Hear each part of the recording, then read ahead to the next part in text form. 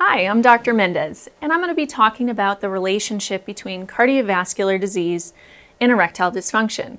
This is a very important topic because it potentially allows us a window to diagnose men with early signs of heart disease before they've had a serious event like a heart attack.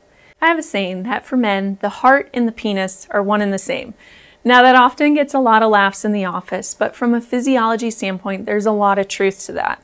Both organs are heavily dependent on blood flow through their vessels for their function. If we've taken care of our body with good, healthy exercise and diet, limiting the salts and sugars, maintaining normal body weight and blood pressure, the heart and the penis are going to function well. Now, there are always exceptions with genetic predispositions that no matter how well you take care of your body and health, you may still have heart problems or erectile dysfunction, but these principles are still important to maintaining your health and preventing further disease progression. So, how does this all relate back to erectile dysfunction? If a man comes into the office, particularly if he's less than 45 years old, complaining of new onset erectile dysfunction, my first question isn't, What pill do you want to try?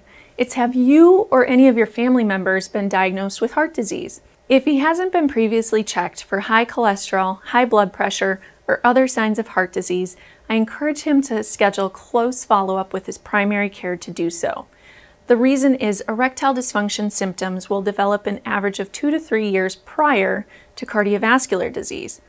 This provides us a critical window of early intervention because we know some men without treatment will go on to have a cardiovascular event such as a heart attack, stroke, or peripheral vascular disease within three to five years of being diagnosed with erectile dysfunction.